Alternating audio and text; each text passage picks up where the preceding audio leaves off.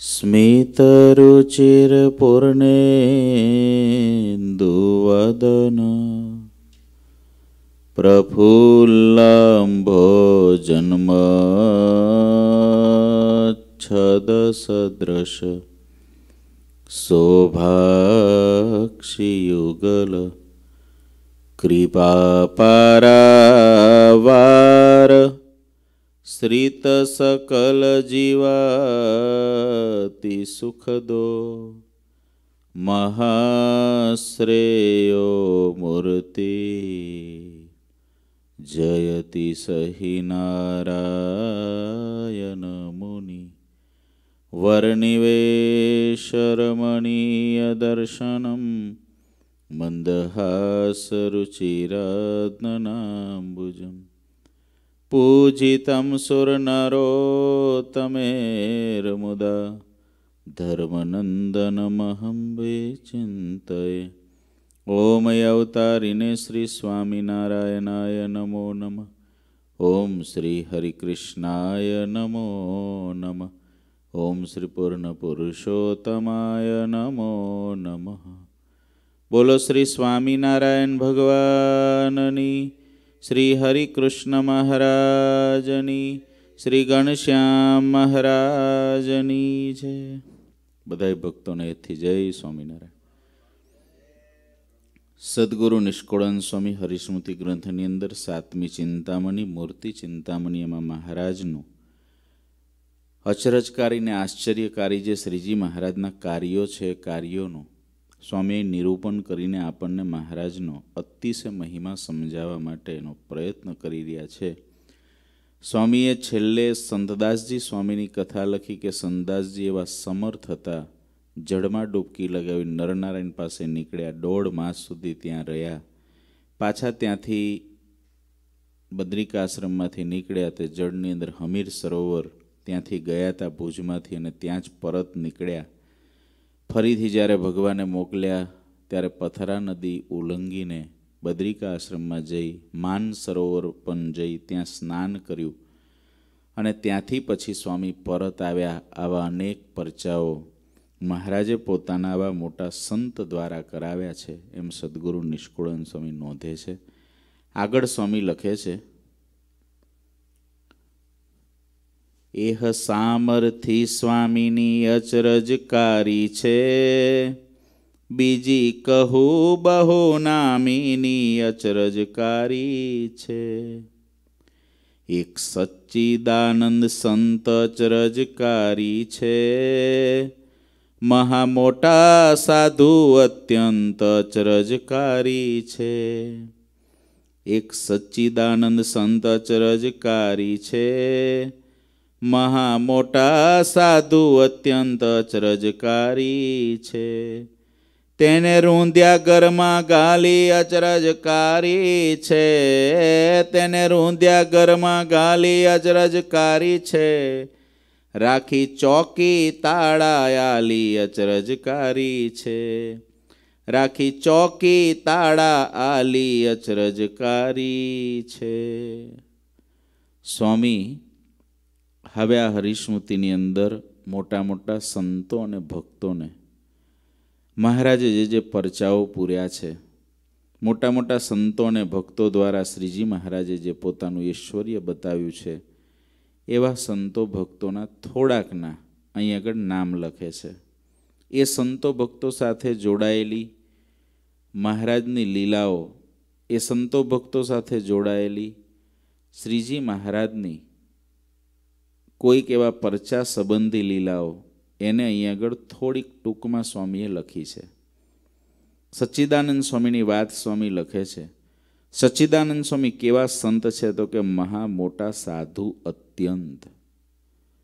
મહા મોટા અને અત્યંત. બે સ્વામી માટેના શબ્દો સ્વામીએ લખ્યા સચ્ચિદાનંદ સ્વામી એવા સાધુ હતા. એમનો અહીં સ્વામી એ પ્રકારનું અચરજકારી આશ્ચર્યવાળી સ્વામીની ઘટના લખે છે કે એને રોંધ્યા ઘરમાં ઘાલી રાખી ચોકી તાળા આલી. સચ્ચિદાનંદ સ્વામી પૂર્વાશ્રમની અંદર મોટાભાઈ તરીકે ઓળખાતા. પોતે જાડેજા રજપૂત ક્ષત્રિય જાતિની અંદર સ્વામી પ્રગટ થયેલા હતા. જામનગર પાસે મોડા ગામ છે. ત્યાં આગળ સ્વામીનું પ્રાગટ્ય થયેલું. સ્વામી બાળપણથી જ સ્વામીનું શરીર પડછંદ હતું, ઊંચો બાંધો હતો. સ્વભાવે બહુ અલમસ્ત હતા જળભરત જેવા. અને સ્વામીને બાળપણથી જ ભગવાનને વિશે અતિશય હેત હતું. ગઢડામાં એકવાર શ્રીજી મહારાજના પ્રથમ દર્શન થયા, ત્યારથી સ્વામીનું હૃદય મહારાજમાં ખેંચાઈ ગયેલું હતું. પૂર્વાશ્રમનું નામ દાજીભાઈ, મોટાભાઈ. એટલે એમને એવું વિચાર્યું કે મારે હવે ભગવાન પાસે જવું છે, સાધુ થવા. પણ સીધે સીધી કોઈ રજા આપે એમ નથી. સંસારીને થાય કે આ અમારા કામમાંથી જતો રહે, અમને પોસાય નહીં. બહુ જૂજ ભગવાનના ભક્તો એવા હોય છે કે જે પોતાના પુત્ર અને પુત્રીને શાંતિથી ભગવાન ભજવા માટેની રજા આપતા હોય.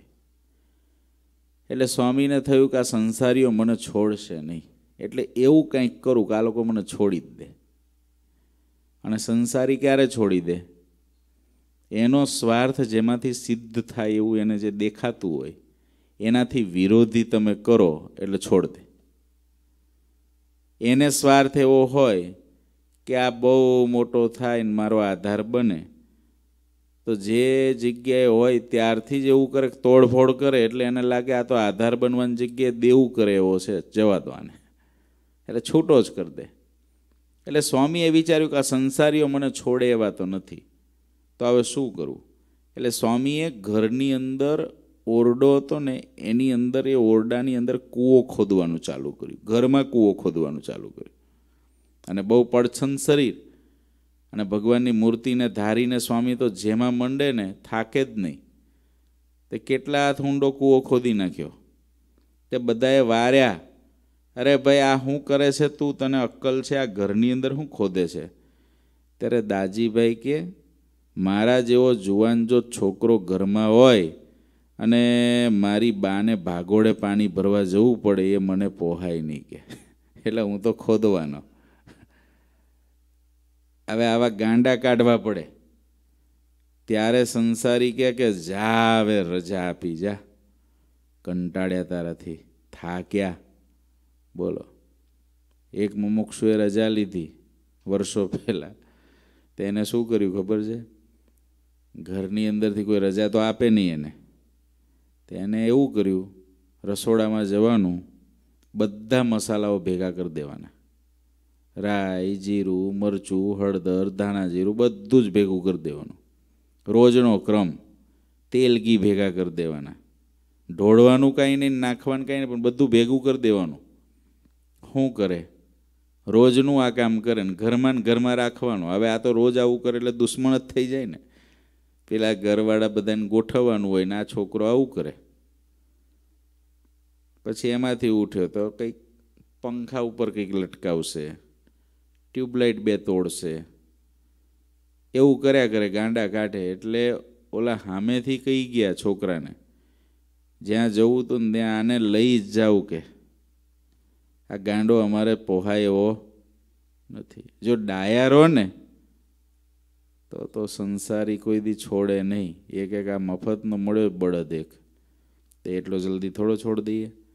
પણ ગાંડા થાવ, એટલે તરત છોડે. એને જેવું ધાર્યું હોય એનાથી વિરોધી કરો ને એટલે છોડે. આ તો જેને છોડવું હોય એને. ના છોડવું હોય હરખા રહેજો પણ જેને છોડવું હોય એને એવું કરવું પડે. તમને સારું છે દાદાઓ, પ્રેમથી છોડી દીધા છે. નહીં તો ઘેર જઈને ગાંડા કાઢો તો પછી કેમ જ કે ભલે દાદા જાતા. આપણે તો બધા સત્સંગી પરિવારો છે. હા, પછી કે બાબાને ઘરવા જ નથી દેવો. તમને તો પ્રેમથી રજા મળી ગઈ છે. પણ જે જગ્યાએ સત્સંગ એટલો પ્રબળ ના હોય કથા વાર્તાનો યોગ એટલો ના હોય, જે સંસારી એવું નથી સમજી શકતા કે ભગવાન ભજવું એ કેટલું મોટું કાર્ય છે. અને એના દીકરા, દીકરીઓ કે કોઈ પણને સમજાયું હોય, તો એને એવો પ્રશ્ન થવાની શક્યતાઓ ઘણી છે. કારણ એવું છે કે એને કથા વાર્તાનો યોગ ના હોય, એને ભગવાનનો મહિમા સમજ્યા ના હોય, સત્સંગમાં હોય પણ ગુણબુદ્ધિનો સત્સંગ હોય તો શું થાય? આજે આપણા લોયાધામ પરિવારમાં તો કેવા ભગવાનના ભક્તો છે? જો નાના બાળકોનો ઉછેર કરે, ત્યારથી એના કાનની અંદર શબ્દ મૂકે છે કે તું મહારાજનો છો, તું ગુરુજીનો છો, તું લોયાધામ માટે છો. તું અમારો નથી, તારા સાચા મા બાપ તો એ છે, તું તો અત્યારે અમારે ત્યાં હોસ્ટેલમાં રહે છે. આજે એવા છોકરાઓ છે જેને પોતાના મા બાપે આવું જ્ઞાન આપ્યું છે. એ છોકરાને પૂછો ક્યારે તો કે હોસ્ટેલમાં. મંદિર આવે તો કે ઘેર આવ્યો છું. મહારાજને ગુરુજીને સંતો મળે, સંતોન મળે તો કે સાચા મા બાપને ભાઈઓને મળ્યો છું. અને ત્યાં આગળ ઘરની અંદર હોય તો કે અહીં તો હોસ્ટેલમાં રહ્યો છું. લો, આવી રીતે ઘરની અંદર એ છોકરાઓનો ઉછેર કરી રહ્યા છે એવા મા બાપ વર્તમાન કાળે છે. એ અચરજકારી જ છે ને. આજે નિષ્કુળન સ્વામી જો લખવા બેસે ને તો એને અચરજકારી લખે. બહુ મોટી બહુ મોટી ઘટના છે, નાની નથી. આપણે જે અચરજકારી વાતો આ બસો વર્ષ પૂર્વેની સ્વામીની લખેલી વાંચીએ છીએ પણ આજે જે મા બાપે આવું જ્ઞાન પોતાના દીકરા દીકરીઓને આપ્યું છે અને જે આપી રહ્યા છે અને ભવિષ્યમાં જે આપશે, એ કંઈ નાની શુની વાત નથી. અહમ અને મમત્વના બંધનને તોડવું એ કેટલું કઠણ છે.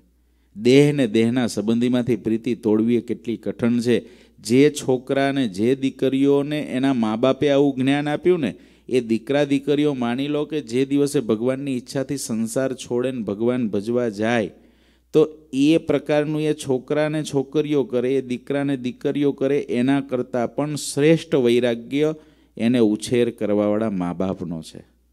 એને વૈરાગ્ય આના કરતાંય વધારે કહેવાય. આને તો હું છોડી દે, પછી તો મંદિરમાં આવે, સત્સંગમાં આવે, સંતો ભેગા આવે, તેને પછી હું લીલા લહેર જ છે ને, અહીં ક્યાં દુઃખ છે કોઈ?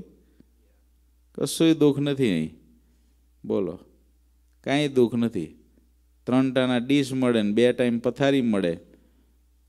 હવ બધાય પગે લાગે. અહીં શું ખોટ જ છે, કાંઈ ખોટ નથી. અહીં તો સુખ સુખને સુખના સમુદ્ર વચ્ચે છે. ઓલાને તો મજૂરી કરવાની, મહેનત કરવાની એને તો આશા હતી આની પર ક્યાં મહેનત કરીને કંઈક આપે. તે તો લહેર કરવા જતો રહ્યો, ભજન કરવા આવે. મજૂરી એને કરવાની. વૈરાગ્ય જે મા બાપ પોતાના દીકરા દીકરીઓને આપે છે ને વૈરાગ્ય, એની સમજણ ઓલા દીકરા દીકરી કરતાં વધારે છે. એના કરતાંય ઓલાનો વૈરાગ વધારે છે. દેખાય જેને સંસાર છોડ્યો એનો વૈરાગ. પણ જેને ખરેખર એવા દીકરા દીકરીને પ્રેમથી ઉછેરીને સંસ્કાર એવા આપીને છોડ્યા છે ને, એનો વૈરાગ કારણ કે એને તો પેલાની ભેગા રહીને વૈરાગ્ય રાખ્યો, એને છોડ્યો ત્યારેય વૈરાગ્ય રાખ્યો અને છોડ્યા પછી પણ વૈરાગ્ય રાખ્યો. એને બાળપણથી જ એવા સંસ્કાર આપ્યા, એની કેટલી મોટી સમજણ એને રાખી, ત્યારે બાળપણથી એવા સંસ્કાર આપી શક્યા. એવું કહી શક્યા, એવું સમજાવી શક્યા. આજે એવા મા બાપ છે અને કરોડો વંદન છે કે જે એવી રીતે પોતાના દીકરા દીકરીઓને ઉછેરી રહ્યા છે. દાજીભાઈએ વિચાર્યું કે મારા જેવો જુવાન જો દીકરો હોય અને મારી બાને પાણી ભરવા પાદર જવું પડે, આ પોહાય નહીં, હું તો કૂવો ખોદવાનો જ. હવે ઘરમાં કૂવો ખોદે, એને કોણ રાખે? બધાએ ગયેલા ગાંડો થયો છે આને બાંધી દો. દાજીભાઈએ વડીલોને સમજાવી દાજીભાઈને વાડીએ રાખ્યા. હવે વાડીમાં રાખ્યા ને ઘરમાં તો હરખા રહેતા જ નહોતા. એટલે કે ભાઈ આને વાડીએ જ રાખો, અહીં લાવવાનું નહીં ઘેર. એને બધું ખાવું પીવું ને વાડીએ દઈ દો. તે વાડીએ રાખ્યા. તે વાડીની અંદર શું કરે? અનાજના ડુંડા હોય ને, એ હાથમાં ચોડી ચોડીને કાચા દાણા ઉપાડે.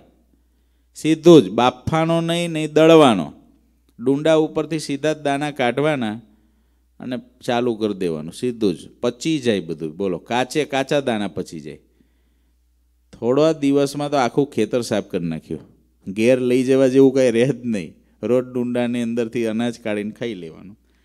સગા વાલા બધાય ભેગા થયા. અલા દાજી તું હમજ કંઈ હમજ, આ શું કરે છે કે? તો કે મને ભૂખ લાગે છે. હું શું કરું? ભૂખ લાગે તો મારે ના રાંધવું પડે, ના દળવું પડે, ના તમારા રોટલાની ચિંતા કરવી પડે. આ ડુંડા ઉપરથી પક્ષી ખાય છે, પશુ ખાય છે. તો હું ખાઉં છું કે? ભગવાનની મૂર્તિને ધારીને કરતા ને એટલે. આપણે તો જો એક મુઠ્ઠી જો જતું રહ્યું હોય ને, કાચું, અરે, કાચે કાચું નહીં, રાંધ્યાની અંદર જો થોડુંક કંઈક તકલીફ હોય ને ગયું હોય તોય દવા લઈને હોઈ જવું પડે. અને દાજીભાઈ તો કાચે કાચા દાણા ખાઈ જતા. પછી બધાએ ભેગા કરીને ઓરડામાં પૂરી દીધા એને. ઓરડામાં પૂર્યા? ઓરડામાં પૂરીને દોરડે બાંધી દીધા.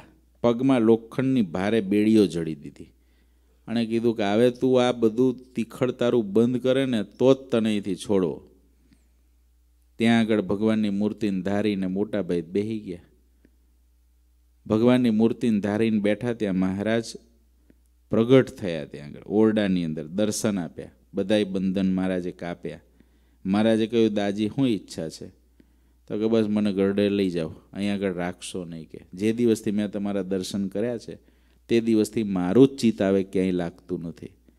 અને પછી મહારાજ અમને ગરડે લાવ્યા અને ત્યાં લાવી સચ્ચિદાનંદ સ્વામી એવું નામ પાડ્યું દીક્ષા આપીને. અને એમને લક્ષ્મીવાડી મહારાજે સોંપી તમારે આ ખેતીવાડી હાચવી ભગવાનની મૂર્તિમાં અખંડ રહેતા એવી સ્થિતિ શાસ્ત્રમાં લખાની કે જ્યારે સચ્ચિદાનંદ સ્વામીને એક પડવાર પણ મૂર્તિ ભૂલાતી ત્યારે લોહીના ટસિયા આવી જતા. ભગવાનની મૂર્તિ સિવાયના ગાઢ સંકલ્પ એક પડવાર થતા તો લોહીના ટસિયા આખા શરીરે આવી જાય. આટલું ભગવાનમાં હેતવાળા સચ્ચિદાનંદ સ્વામી થયા. ઈશ્વરીય મૂર્તિ કહેવાય. અને ભગવાનના અતિશય પ્રેમી સંત એમાં સચ્ચિદાનંદ સ્વામીની વાત શાસ્ત્રમાં લખાણી છે. એ જે મહારાજે જે લોઢાની બેડીઓએ બાંધેલા હતા એમને પૂર્વાશ્રમમાં, દોરડાઓએ બાંધેલા હતા અને છોડાવ્યા, એ અહીં આગળ લખે છે તેને રૂંધ્યા ઘરમાં ગાલી અચરજ કારી છે. રાખી ચોકી તાળા આલી અચરજકારી છે. પહેલાં તો દોરડે બાંધ્યા હતા. તેમાંથી બહાર નીકળી ગયા ઓરડાન બહાર. પેલા લોકોને થયું આ બહાર ક્યાંથી આવ્યો? એટલે હાંકડે બાંધો, હાંકડે બાંધ્યા. ત્યારે બહાર આવી ગયા. અને ત્રીજી વખત તો મહારાજે ઉપાડી લીધા. તેમાંથી નિસરી ગયા, તેમાંથી નિસરી ગયા અચરજકારી છે. તાળા તેમના તેમ રહ્યા અચરજકારી છે. તાળું કાંઈ ખોલ્યું નહીં. અને સ્વામી બાર, આવું થઈ ગયું. આ બધુંય ભૌતિક દેહ અભૌતિક થયું અચરજકારી છે. એહ કારણ હરેનો કયું અચરજકારી છે. ભૌતિક દેહ અભૌતિક થયું. આ માઇક શરીર હતું એ દિવ્ય બની ગયું. એનું કારણ શું? હરિ. એનું કારણ છે ભગવાનની મૂર્તિ. ભગવાનની મૂર્તિને જેમ જેમ જીવાત્મા ધારતો જાય, આપણી વૃત્તિ ભગવાન સાથે જેમ જેમ સંલગ્ન થતી જાય. આપણે વૃત્તિ ભગવાન સાથે જોડીએ છીએ, પણ ક્યારે જોડાય છે? માનસી પૂજા કરીએ ત્યારે જોડાય છે.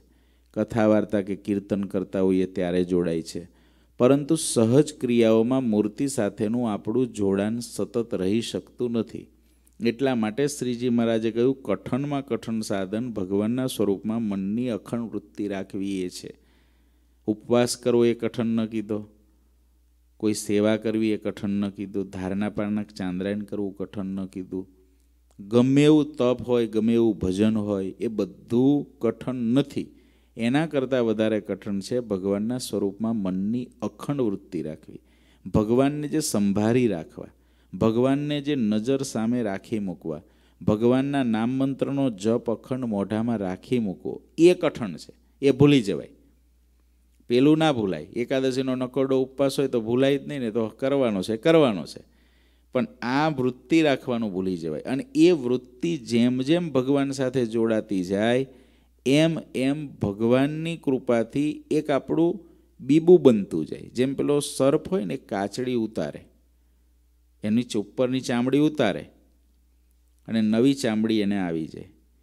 એવી રીતે ભગવાનના ભક્તને પણ ભગવાન સાથે વૃત્તિ રાખતા રાખતા સ્વભાવ, વાસના અને માઇક શરીરરૂપી બીબુ પેલો સાપ જેમ કાચડી ઉતારે એમ ઉતરી જાય અને દિવ્ય દેહ બંધાઈ જાય. આપણું એક અંદર એક કામ ચાલુ છે. આ બહારનું શરીર તો છે જ. પણ અંદર એક બ્રહ્મમય તનુ દિવ્ય દેહ એ બંધાવવાનું ચાલુ છે. જેટલું જેટલું આપણી અંદર ધર્મ, જ્ઞાન, ભક્તિ, વૈરાગ્ય આદિ જે મહારાજને ગમતા સદગુણો, એનો આવિર્ભાવ જેમ આપણામાં વધતો જાય, એ જેમ જેમ આપણામાં આવતા જાય, ભગવાન સાથે જેમ જેમ આપણી વૃત્તિ વધુ જોડાતી જાય, સત્પુરુષો સાથે જેમ જેમ આપણી અનુવૃત્તિયુક્ત જીવન જેટલું બને એટલું શાર્પ થતું જાય એમ એમ આપણો દિવ્ય દેહ બંધાતો જાય. અને દિવ્ય દેહ બંધાય એ દિવ્ય દેહ એની અંદર રહેલા જે આપણે આત્મા એ મુક્તાત્મા જેવો થાય અને ત્યારે હર્ષ શોક, રાગ, દ્વેષ, માન, અપમાન, સુખ, દુઃખ આ બધાથી પર થતો જાય. અને અંદરનું જે દિવ્ય દેહ એ મારું કેટલું ઘડાયું છે ને કેટલું નથી ઘડાયું એ આપણને આપણી સહજ ક્રિયાઓ ઉપરથી ખબર પડતી જાય. આપણી સહજ વૃત્તિઓ પરથી ખબર પડતી જાય કે મારે આટલો આ દેહ બંધાનો છે ને આટલો નથી બંધાનો ગોપાળન સ્વામીએ પોતાની વાતોમાં સત્પુરુષના સમાગમથી દિવ્ય દેહ બાંધવો. માતા પિતા થકી જે દેહ મળ્યો છે એ માઇક છે અને સત્પુરુષના સમાગમે કરીને જે દેહ બંધાય છે દિવ્યતનું છે, સ્વામી કે એને બાંધવાનો અભ્યાસ નિરંતર સત્પુરુષના પ્રસંગે કરીને કરવો. એ રોજ કરતો જાય, તો એ દિવ્ય દેહ બંધાઈ જાય. પછી દેખાય શરીર આનું આ? ભગવાનના મોટા પુરુષો છે, તો એનું શરીર, આમ ટાંકણી મારો તો લોહી જ નીકળે આપણી જેમ.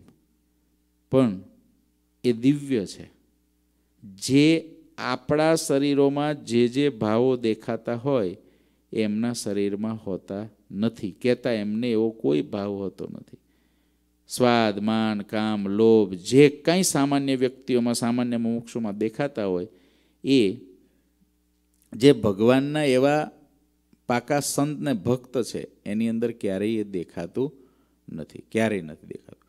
એટલે અહીં આગળ કહે છે, દાજીભાઈ, એ સચ્ચિદાનંદ સ્વામી, એ સચ્ચિદાનંદ સ્વામી એમને એવું હેત હતું કે ભગવાનની મૂર્તિ ભૂલાઈ જાય તો રોમે રોમે લોહીના ટસિયા આવી જાય. આવું ભગવાનમાં હેત હતું. સચ્ચિદાનંદ સ્વામીને ઘણીક વખત એવું હતું કે એવા એવા પરચાઓ સ્વામીએ પૂર્યા આપણે બધાએ સાંભળ્યા છે, ક્યારેક એક વખત વરસાદ નહોતો આવતો, બધાય ભક્તો ભેગા થઈને આવ્યા.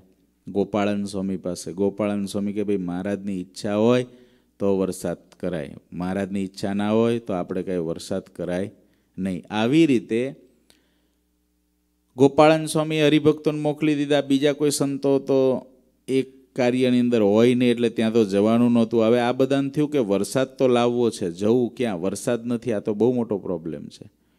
ત્યારે બધાએ વિચાર્યું, એક કામ કરીએ.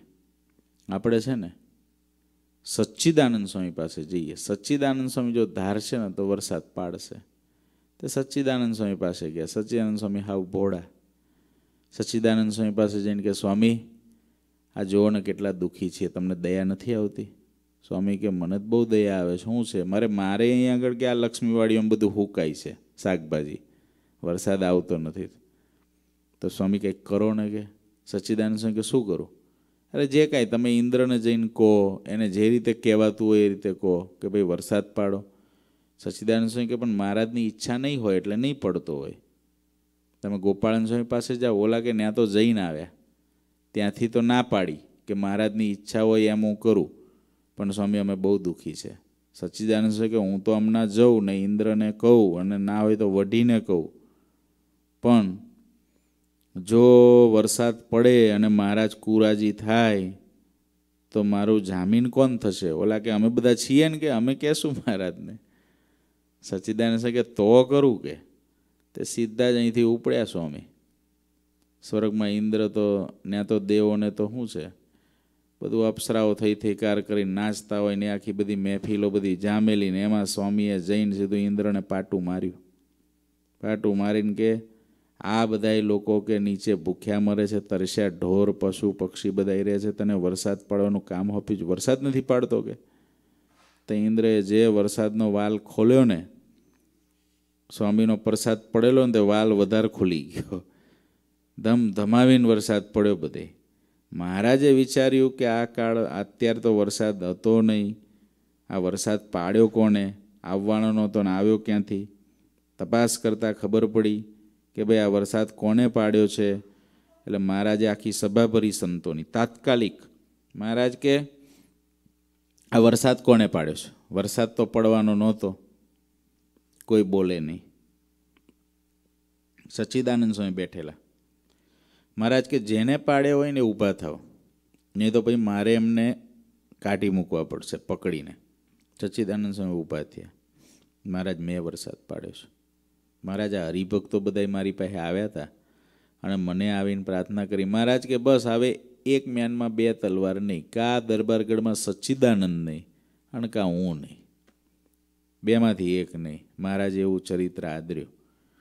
અને ત્યારે પછી બધાએ કે, મહારાજે તો અમારા કહેવાથી સચ્ચિદાનંદ સ્વામીએ વરસાદ પાડ્યો, તમે સ્વામી ઉપર રાજી થાવ અમે અહીં બધા દુઃખી હતા મહારાજ. અમે સચ્ચિદાનંદ સ્વામી પાસે ગયા. સ્વામી કે, મેં તો ભોળપણની અંદર આ બધા ભક્તો આવ્યા. વરસાદ પાડ્યો. મેં તો ઇન્દ્રને જઈને પાટું મારીને કીધું, એને વરસાદ પાડી દીધો મહારાજ. હું શું કરું? કહો, પણ મહારાજે પછી બધું આગળની લીલાઓ બધી છે, સ્વીકાર લીધું. પણ એટલા સમર્થ હતા સચ્ચિદાનંદ સ્વામી, આટલા સમર્થ. ઇન્દ્રને જઈને પાટું મારીને વરસાદ પડાવી શકે. કયું ઐશ્વર્ય એવું હતું કે જે સ્વામીએ નથી બતાવ્યું? ગોપાળન સ્વામીએ જેવા ઐશ્વર્યો બતાવ્યા, એવા સ્વામી દ્વારા મહારાજે ઘણા બધા ઐશ્વર્ય બતાવ્યા, સચ્ચિદાનંદ સ્વામી દ્વારા. એવા સચ્ચિદાનંદ સ્વામી. પણ સચ્ચિદાનંદ સ્વામીનો ખપ કેવો? સચ્ચિદાનંદ સ્વામી કે હરિભક્તો પાસે વાત કરતા હતા, સ્વામી, ખપની, કેવા ગરજુ થાવું? તો સ્વામીએ કીધું, મારા પગ છે તે કોઈ ઢીચનથી અગર કાંડાથી ભાંગી નાખે. આ સત્સંગમાં મારા પગને ઢીંચણ અથવા કાંડાથી કોઈ ભાંગી નાખે. તો પણ હું આ સત્સંગને છોડું નહીં. અને મને કશું ખાવા ના મળતું હોય તો આ મહારાજ અને આ સંતોની સભા ભરાઈને જ્યાં બેઠી હોય ત્યાં ધસડાતો ધસડાતો ધસડાતો ધસડાતો આવી આ સંતોના જે એઠવાડા પડતા હોય, પ્રસાદી પડતી હોય પતળામાં રહેલી, પથ્થરમાં રહેલી એ પ્રસાદીને હું ભીખ માગીને માગું અને મને સંતો દે, એમાંથી જમીને પણ હું મારું ગુજરાન ચલાવું અને આ મહારાજને આ સાધુના દર્શન કરું. જેને રોમે રોમે મહારાજ રે એવા મોટા સાધુ. એનો ખપ, આ સત્સંગને એમને કેટલો દુર્લભ જાણ્યો હશે, મહારાજને કેટલા દુર્લભ જાણ્યા હશે. સંતો અને ભક્તોના સમુદાયને કેટલો દુર્લભ જાણ્યો હશે. નહીં તો જેને રોમે રોમે મહારાજ રહેવા લાગ્યા, એને કોની ગરજ? જેને રોમે રોમે મહારાજ છે અને જેની વૃત્તિ મહારાજમાંથી એક ઘડી વાર પણ ખસતી નથી, તો એવા સંતને બીજા કોની આવે એને કોના સમાગમની ગરજ છે? એને કોના સંઘની ગરજ છે? પરંતુ એ પોતાના જીવનથી એવું આપણને શીખવાડે છે કે ગમે એટલા આપણે મહાન બન્યા હોઈએ, મહાન હોઈએ મહાન થઈશું જે કાંઈ હોય. આપણી અંદર જે કોઈ સારા ગુણો ભૂતકાળમાં હતા, અત્યારે છે ને ભવિષ્યમાં હશે, એ બધુંય સાચવવાનું જો કોઈ ફ્રી જ હોય તો સત્સંગ છે. આ સત્સંગથી જ આપણને સદગુણોની પ્રાપ્તિ થઈ છે. આ સત્સંગના ભીડાથી જ આપણા સદગુણો અને ભગવાનનો રાજીપો, મોટાનો રાજીપો એ આપણી ઉપર બચેલો રહે છે. આ સત્સંગને મધ્ય આપણે છીએ એટલે જ આપણે રોજ થોડા થોડા થોડા થોડા વધીએ છીએ અને આ સત્સંગના મધ્યે રહેશું તો જ મહારાજ સુધી આપણે સુખેથી પહોંચશું. જો આ સત્સંગનો મધ્ય આપણને કોઈ રીતે એમ થાય કે હવે હું સંપૂર્ણ થઈ ગયો છું, હવે મારા માથે વિઘન નથી અને સત્સંગથી દૂર જવાનું જ્યારે વ્યક્તિ વિચારે ત્યારે ગમે એવો બળ્યો હોય ગમે એટલો બળ્યો હોય. પણ માયા એટલી તાકાતવાળી છે, એટલી તાકાતવાળી છે કે કોઈ પણ જીવાતમાં જો સત્સંગથી દૂર થાય, તો એ મુક્તાત્મા થઈ ગયેલો હોય ને તો એ પીલી નાખે. એટલી ખતરનાક માયા છે. એની પાસે એટલા બધા સાધનો છે. જો ભરતજી પાસે વૈરાગ્ય નહોતો એમ નહીં, ભરતજી પાસે પુષ્કળ વૈરાગ્ય હતો, અત્યંત બૃહદ વૈરાગ્ય હતો, એવું કહીએ તો વાંધો નહીં, એવો હતો વૈરાગ. તો જ આટલું રાજપાટ છોડીને જાય ને ગંડકીના કિનારે પુલાશ્રમ. પુલાશ્રમ આપણે જઈએ તો કેટલા કલાક રોકાઈએ ત્યાં? ઉપર બેઠા હોય તો કેટલા કલાક? બે કલાક? ત્રણ કલાક? ચાર કલાક? છત્રીએ મહારાજે તપ કર્યું ત્યાં બેહવું હોય તોય? જેમ જેમ પછી ઠંડી ચાલુ થાય, ત્યાં ધારામાં કેટલી વાર નહીં આપણે? ધારાઓ પડે છે. એ ધારાની અંદર આપણે સ્નાન કરવું હોય તો એક ચક્કર તો બહુ થઈ ગયો. એમાંય બધા સાઈડ પરથી જ હાલે. પહેલી ધારા પડી હોય ને, પછી તો પેલી રેલિંગને પકડી પકડીને બહાર નીકળી જાય. પેલી ધારાઓની જે માથું ધરે જ નહીં. બોલો. એની નીચે માથું ધરે નહીં. આપણે ત્યાં આગળ એક ત્રણ કલાકે નથી રોકાઈ શકતા. એ જગ્યાએ ભરતજી આખું જીવન વ્યતીત કરી નાખ્યું. આખું જીવન વ્યતીત કર્યું. કેટલો વૈરાગ્ય હોય. પણ સત્સંગનો યોગ નહોતો. તો હરનાનો દેહ આવ્યો ને જળભરતનો દેહ આવ્યો. એટલા માટે ગમે એટલા આપણે બળિયા હોઈએ, ગમે એટલા બળિયા થયા હોઈએ, પણ યાદ રાખવું, આપણી અંદર જે કાંઈ બળ આવ્યું છે, એ બધુંય સત્સંગથી આવેલું છે. આ સત્સંગને મધ્યે છીએ એટલે આવેલું છે. શ્રીજી મહારાજ જેટલા આપણે વૈરાગ્યવાન નથી ને શ્રીજી મહારાજ જેટલા આપણે નિષ્પૃહી નથી. શ્રીજી મહારાજ જેવા આપણે એકાકી રહી શકીએ એટલી શક્તિમાન નથી. છતાં પણ શ્રીજી મહારાજ તો એવા હતા, શ્રીજી મહારાજ એવા છે. છતાં પણ શ્રીજી મહારાજ એવું કહે છે વચનામૃતમાં કે અમારે કોઈ નિમિત્ત નથી, પણ કોઈ નિમિત્ત ઊભું કરીને આ પ્રેમાનંદ સ્વામી જેવા સંત મધ્યે જન્મ ધરવો છે. પ્રેમાનંદ સ્વામી જેવા સાધુનો સમુદાય હોય, એને મધ્ય જન્મ ધરવો છે. અને ગુણાતીતાનંદ સ્વામી કે એ વાત પરથી એમ સમજવાનું છે કે આજે આપણે એવાને મધ્ય રહ્યા છીએ. આ સમજવાનું છે. એવાને મધ્ય રહ્યા છીએ. અને એવો ખપ રાખે ને, આ સત્સંગનો એવો પ્રતાપ છે, આની મધ્ય કોઈ પડ્યો રહે ને, એની તાકાત કશી જ ના હોય. એ ભગવાનના ધામને આ જન્મે પામે એવો છે જ નહીં. એવો છે. પણ આ સત્સંગનો પ્રતાપ એવો છે. તમને ખબર છે, ડૉક્ટરનો ભણેલો ના હોય, આપણા ઇન્ડિયામાં કમ્પાઉન્ડર હોય ને ડૉક્ટરની જોડ. બરાબર? તો આવે તો કંઈક માગતા હશે, ડિગ્રી કે દસ પાસ જોઈએ, બાર પાસ જોઈએ, કે અમુક કોર્સ કરેલો જોઈએ, પણ આજથી વર્ષો પહેલાં ગામડાની અંદર ડૉક્ટર હોય અને એના કમ્પાઉન્ડર હોય, એ કાંઈ કશું ભણેલો ના હોય. એ ગામમાં ફરતો હોય ને એટલે પેલા ડૉક્ટર કે ભાઈ નોકરી જોઈએ છે, તો આવી જજે. હાલ, હવે આને શું કે આને ડૉક્ટર નામ ના બોલે દવાનું. પેલી બોટલમાંથી ભૂરી બે આપ, લીલી ચાર આપ. અને પેલી પેલી છે ને, ગોળ છે ને, મોટી, એ ત્રણ મૂકી દે. પછી એ મૂકીને આપે. અને ડૉક્ટર જોઈ લે દવા તો બરાબર છે ને, કારણ કે લીલી પાછી પાંચ પ્રકારની હોય. એટલે કે ઉપરથી પાંચમા નંબરની પેલી બોટલ ઉતાર, જો લીલી હશે, એમાંથી ત્રણ કાઢ આ કાઢ એટલે બસ એને ખાલી કાઢીને મૂકવાની. એને આ દવા સાની છે. એ ખબર નથી. એની કંપનીનું નામ પણ એને ખબર નથી. એને નામ બોલતા પણ ના આવડે ને લખતા પણ ના આવડે. કારણ કે એબીસીડી ભણેલો જ ના હોય. હવે, ડૉક્ટર ક્યારેક ગેરહાજર હોય ને, એને વર્ષોના અનુભવથી, દસ વર્ષ સુધી કમ્પાઉન્ડર તરીકે રહ્યો છે, એટલે હવે એને અનુભવથી શું થઈ જાય કે કોઈ આવે, ડૉક્ટર ના હાજર હોય. તમે ગામડામાં જોયું હશે. મેં તો અનુભવ્યું છે આપણે ડૉક્ટર ના હોય અને ગયા, શું થાય છે ભાઈ? પેટ દુખે છે. લો. અને આપણે દવા લઈ લઈએ ને મટી પણ જાય છે. મટી પણ ગયું છે જે તે સમયે. હવે કદાચ ના લઈએ, અત્યારે આખો યુગ બદલાઈ ગયો. પણ તે દિવસે આપણે દવા લેતા અને મટી પણ જાતું. તો શું એ ડૉક્ટર છે? એને દવા વાંચતા આવડે છે? એને આ કઈ દવા આપું છું એની ખબર છે? પેટમાં દુખે તો એપેન્ડિક્સ દુખતું હશે કે કંઈક બીજો અપચો હશે એની એને ખબર છે? એને ચેક કરતાંય આવડતું નથી. એને નથી કઈ દવા આપવી એનું નામ આવડતું? પરંતુ દસ વર્ષના અનુભવથી, ડૉક્ટર સાથે રહેવાથી કમ્પાઉન્ડરને પાકું થઈ જાય અભન કમ્પાઉન્ડરને કે આ દવા આપું મટી જાય મટી જાય, હજારોને મટી ગયું છે. બોલો. હા, એની રોજ સલાહ ના લેવાય. તો એક આ દુનિયાની અંદર ડૉક્ટર હોય, તમે આ જોબ કરવાવાળા હોય છે એચ વન ઉપર જોબો કરવા આવે બધા બરાબર ને? તો એનું જે ફિલ્ડ હોય ને, એનાથી કંઈક નવી જ જોબ કરતો હોય. પેલો વચ્ચેનો જે હોય એનો, શું કહેવાય? હે, કોન્ટ્રાક્ટર. એ જે રેઝ્યુમે મૂકે, હોય મિકેનિકલ ને કરતો ઇલેક્ટ્રિકનું કામ, હોય મિકેનિકલ ને કરે કોમ્પ્યુટરનું કામ, જે એની રેઝ્યુમી હોય જ નહીં, પાંચ વર્ષનો અનુભવી ના હોય એવી અનુભવ મૂકે. અને પછી ઓલાને શીખવાડ્યા કરે. તો પેલો પાંચ વર્ષનો અનુભવ આવડી જાય. કેટલાય એવા છે આઈટીમાં જોબો કરવાવાળા કે જેને પૂછશો કે ભાઈ તારું ભણતર કયું? તો કે આ. અને કરે જ શું? તો કે આ. કેવી રીતે? બસ, એ તો આવડી જાય. જોયા કરીએ એટલે આવડી જાય. ભણવા નથી ગયો, પણ જોયા કર્યો એટલે શું થયું? આવડી ગયું. એમાં સત્સંગની અંદર આપણે મુક્ત આ જન્મે થઈએ એવી કેપેસિટી હોય કે ના હોય? પેલા કમ્પાઉન્ડર જેવું.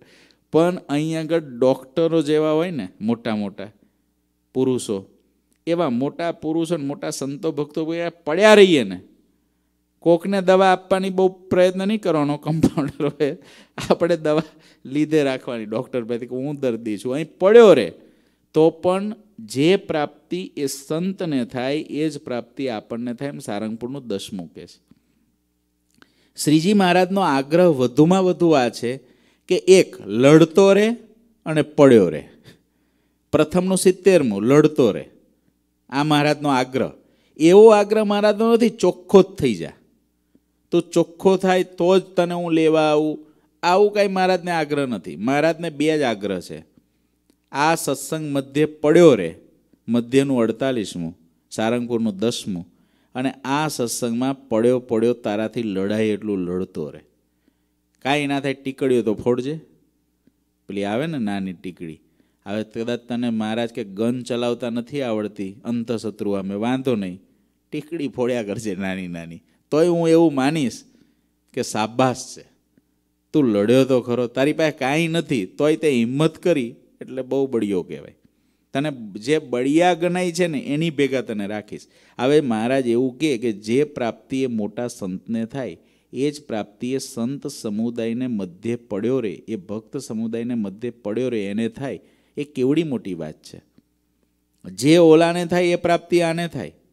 પણ મધ્ય પડ્યો રે તો એટલે કીધું, એને પણ ઓલા જે મોટા ભગવાનના સંત ભક્ત છે, એના જેવો એને પણ જાણવો. કારણ કે એની પ્રાપ્તિ એવી જ થવાની છે. એટલા માટે એને પણ જાણવો. કહો બધા લગ્ન કરવા ગયા હોય તો એમાં કિંમત કોની હોય? વરરાજાની. પણ વરરાજાને જે શરબત મળે, એ જ કોને મળે? જાનૈયાને. અરે ડીસો વરરાજા કરતાં પહેલાં જાનૈયાને મળે. વરરાજો છેલ્લે જમે. એ પહેલાં જાનૈયા જમીન નવરા થઈ ગયા હોય, બસોમાં બેહીને ઘેર જવા તૈયારી. તમે આવ્યા હતા હામાં? શું કરવા આવ્યા હતા ભાઈ? તો કે લગ્નમાં. હજુ વરરાજો તો બેઠો છે, પણ પેલી બસો મુકાઈ ગઈ હોય ને પાછી ઘેર જવાની. ભેંસોને દોવાની હોય, ગાયો દોવાની હોય, તો પાછા બસમાં બહેન પહોંચી જાય જમીને. વરરાજો તો હજુ જમ્યો ના હોય. બોલો, આ સત્સંગમાં એવું જ છે. આપણે જાનૈયા થઈએ ને કાંઈ નહીં તોય ડીશ પહેલાં મળી જવાની. એવું છે. મહારાજે મધ્યના બાસઠમાં વચનાવતમાં કીધું છે, એવી જ વાત કરી. ડીશ પહેલાં મુક્તાનંદ સ્વામીએ છેલ્લે પ્રશ્ન પૂછ્યો ને, મહારાજ આ સત્સંગમાં તો લક્ષાવધી મનુષ્ય છે. અને તમે આ દાસપણું પતિવ્રતાના આત્મનિષ્ઠાની વાતો કરી, એ તો મહારાજ કોઈકને જ સમજ્યામાં આવે ને કોઈક જ વર્તી શકે બધાનું કામ જ નથી. મધ્યનું બાસઠમું બહુ મજાનું વચનામૃત છે. અને પછી અંતિમ પ્રશ્નનો જ્યારે આવો પૂછ્યું ને, ત્યારે મહારાજ કે, આ દાસપણું પહેલાં તો એમ કીધું કે ત્રણમાંથી એક અંગ દ્રઢ કરીને મરવું. કાં દાસપણું, કાં પતિવ્રતા, કાં આત્મનિષ્ઠા, પાંચ દિવસ મોડા મરજો, પણ આ ત્રણમાંથી એક નક્કી કરજો અને પાક્કું કરજો. મુક્તાન છે કે મહારાજ, બહુ કઠણ હતો અહીં લાખો માણસોને ક્યાં તમારું આ ત્રણ અંગમાંથી એકેય દ્રઢ? કારણ કે આત્મનિષ્ઠામાં સુખદેવજી, એના જેવું થવાનું, પતિવ્રતામાં ગોપીઓ જેવું. અને દાસપણામાં મુક્તાન છે ગોપાલ છે ઉદ્ધવને અક્રૂર. હવે દાસપણાની અંદર હનુમાનજી જેવા, ઉદ્ધવજી જેવા. હવે આ ત્રણમાંથી એક એક અંગ દ્રઢ કરવું હોય, કોઈ પણ એક કરવું હોય, તો આના જેવા થવાનું. તો ગણાન તો હાથ જ ધોઈ નાખવાનો કે સુખદેવજી જેવી આત્મનિષ્ઠા ક્યારે ને ગોપીઓ જેવો પ્રેમ ક્યારે? પતિવ્રતાપણું ક્યારે? એટલે મુક્તાનંદ સ્વામી બહુ દયાળુ ને, મહારાજ આ ત્રણ તો બહુ કઠણ કીધું કંઈ ખ્યાલું થાય. મહારાજ કે આ ત્રણ અંગ છે ને, એ જેમાં હોય ને, એવાનો દાસાનું દાસ થાય ને, એ તો છતે દેહ મુક્ત થઈ રહ્યો છે, જાઓ. મર્યા પછી ને એને પાંચ દી મોડા મરવાની જરૂર નથી. આ ત્રણ અંગ જેની અંદર હોય, એનો દાસાનો દાસ થઈને રે, એ તો છતે દેહ મુક્ત. પછી નહીં, છતે દેહ જ. ઓલાને કે પાંચ દી મર્યા પછી મુક્ત. પાંચ દી મોડો મરજે, આટલું પાકું કર્યા પછી મુક્ત. અને ઓલાને કીધું કે છતે દેહ મુક્ત. જાનૈયા પાસે ડીશ પહેલી વરરાજા કરતા ડીશ પહેલી ઓલો છતે દેહ મુક્ત કે નહીં, પણ આને છતે દેહ મુક્તની ડિગ્રી મળી ગઈ. તો કયું હેલું? પાંચ દિવસ મોડા મરવું આ પાંચ પાકું કરીને. અને પછી પાછું એ પાંચ દીમાં પાકું થાય કે ના થાય, પણ જેને પાકું છે, એના દાસાનું દાસ થઈ જાઓ, તો છતે દેહ મુક્ત. તો કયું લેવાય? વરરાજો થવાય કે જાનૈયા થવાય? જાનૈયા થવાય. જેવી કેપેસિટી એટલે જાનૈયા. પછી વરરાજા તો મહારાજે બનાવેલા હોય ને, મોટા મોટા પુરુષો. બેકા જોડાઈ ગઈ એટલે થઈ જાય. આમ જ જીવનું કલ્યાણ થાય. બાકી બધું જો મહારાજને જો એવું જ કરાવવું હોત ને કે આ ત્રણ અંગ દ્રઢ જ કરવા, તો મુક્તાનંદ સ્વામીના પ્રશ્નની અંદર જવાબ જ ઉડાડ દેત. પણ બધુંય, બધી જ વાતો લખી, બધી જ વાતો. એમાં મહારાજનું તારણ આટલું આમ બહુ સરળ રીતે કલ્યાણ આપણી અંદર કોઈ તાકાત નથી. સરળ રીતે આ બે જ વાત મહારાજનો આગ્રહ છે. મધ્ય પડ્યા રહો અને તમારાથી થાય એટલું લડતા રહો. ના લડાઈ કાંઈ નહીં, હોઈ જાઓ. આડું અવડું ના કરતા કંઈ. અહીં આડું અવડું નહીં કરવાનું, હોઈ જવાનું. નથી લડવાની તાકાત અને નથી કાંઈ થાય એવું. ઓશીકું લઈને સરસ પથારી લઈને હોઈ જાઓ. કોઈને નડતા નહીં અને આડું અવડું કરી દે. હોઈ જાય એટલે આડું તો થાય જ નહીં. અને કોઈ નડે નહીં. આ બે કામ કરશો ને તોય આ સત્સંગનો એવો પ્રતાપ છે. અહીં તો પશુનું કલ્યાણ થાય છે. તો મનુષ્યનું થાય એમાં શું કેવું? પ્રથમના એકવીસમાં મહારાજ કહે છે. એટલે અહીં તો સહેજે સહેજે થાય. હિંડોળા ખાટે હિંચકાવા છે. ઘી ગોળને લાડુ જમાડવા છે. દૂધપાક માલપુઆ જમાડવા છે. દૂધભાત જમાડવા છે અને અંતે ડંકા દઈને અક્ષરધામમાં આ સત્સંગનો પ્રતાપ છે. આ કોનો પ્રતાપ છે? સત્સંગનો. અને આને છોડો, સત્સંગના મધ્યને છોડવું છે, તો સૌભ્રી ઋષિ, ભરતજી બધાય ઢગલા બંધ છે બધાયના. ઢગલા બંધ ઇતિહાસો છે. એને જઈને તપાસીને જોઈ લેવાનું. કે ભાઈ આ સત્સંગના મધ્ય જો નથી રહેવું, તો એમને દૂધ ભાત કેવા મળ્યા, કલ્યાણ કેવા થયા? અને અહીં આગળ મધ્ય પડ્યા રહ્યા, એના કલ્યાણ કેવા થયા? ઓલાની સ્થિતિ કેવી હતી, આની સ્થિતિ કેવી હતી? અહીં બકરી ધામમાં મહારાજ લેવા આવ્યા છે. બળદને ધામમાં લેવા આવ્યા છે. બોલો. અને ઓલા ઠેક એટલા વર્ષો સુધી તપ કર્યું ને, તો એ ઇતિહાસોમાં ન લખાનું ભગવાન લેવા આવે પ્રતાપ કોનો છે? મહારાજનો છે. પ્રતાપ કોનો છે? મહારાજે સ્થાપેલા સત્સંગનો છે. પ્રતાપ કોનો છે? મહારાજના જે મુક્તો છે, મહામુક્તો.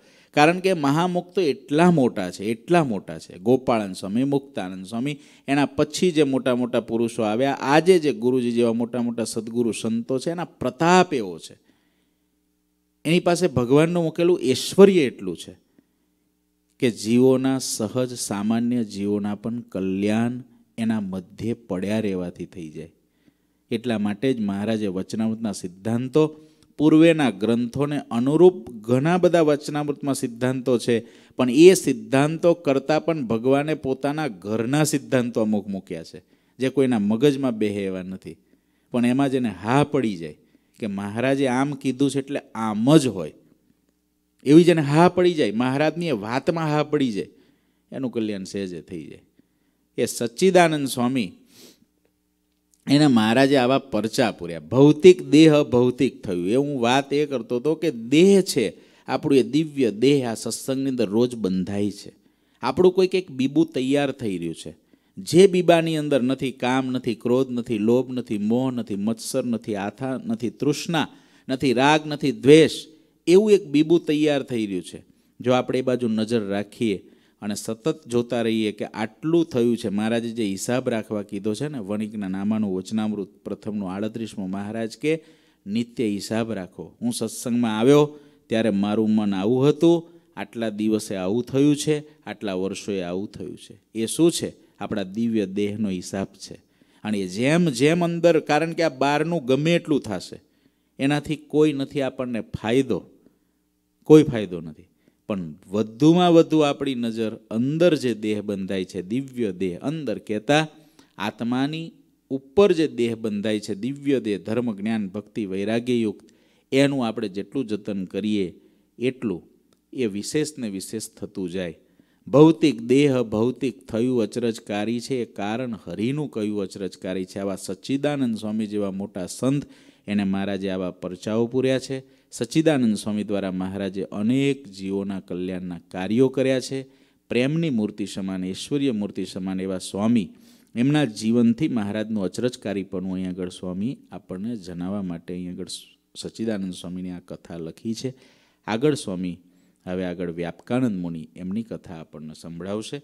અત્યારની સત્તર કડી પૂર્ણ થઈ છે. ઘનશ્યામ મહારાજની જે શ્રીપતિમ શ્રી ધર્મ સર્વદેવેશ્વરમ ભક્તિ ધર્માત્મજમ સુદેવમ હરે માધવમ કેશવમ કામદમ કારણમ સ્વામિનારાયણમ નીલકંઠમ ભજે શ્રી ઘનશ્યામ મહારાજ